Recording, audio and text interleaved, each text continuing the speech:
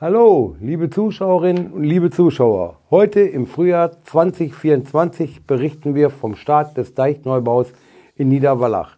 Wir schalten nun direkt zum Deich in Bord Wallach. Karl-Heinz Kamps berichtet heute über die ersten Vorbereitungen des 30 Millionen Euro teuren Deichneubaus von Ossenberg bis Büderich. Heute melden wir uns hier von der Deichbaustelle in Niederwallach. Wir nehmen die Sanierungsarbeiten am Deich zwischen Büderich und Ossenberg auf.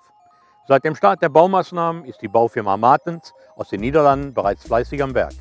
Ein regelrechtes Camp wurde errichtet. Eine Containerstadt ist hier entstanden. Doch das ist nur der Anfang. Schauen wir mal weiter. Der Grund für diese Arbeiten liegt der Notwendigkeit, den bestehenden Deich zu modernisieren. Der aktuelle Deich entspricht nicht mehr den Hochwasserschutzanforderungen und muss deshalb erneuert werden.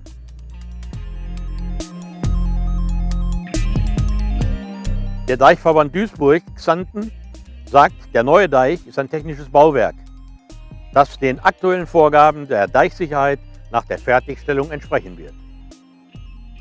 Der neue Deich wird im Wesentlichen der Linie des bestehenden Deiches folgen. Allerdings wird er breiter und höher sein und einen Verteidigungsweg haben. Das erfordert zusätzliche Flächen von 22 Hektar. 30 Millionen Euro sind die geschätzten Kosten für diesen neuen Deich. 80 Prozent davon zahlt das Land Nordrhein-Westfalen. Die Sicherheit der Bevölkerung hinter den Deichen hat oberste Priorität. Daher sind die Sanierungsarbeiten von entscheidender Bedeutung für die Region. Das sind die neuesten Entwicklungen von der Baustelle des Wallacher Deiches. Wir bleiben dran und halten Sie über die weiteren Fortschritte auf dem Laufenden. In der nächsten Folge versuchen wir Ihnen zu erklären und zu ergründen, warum der neue Deich heute vielleicht schon ein alter Hut ist.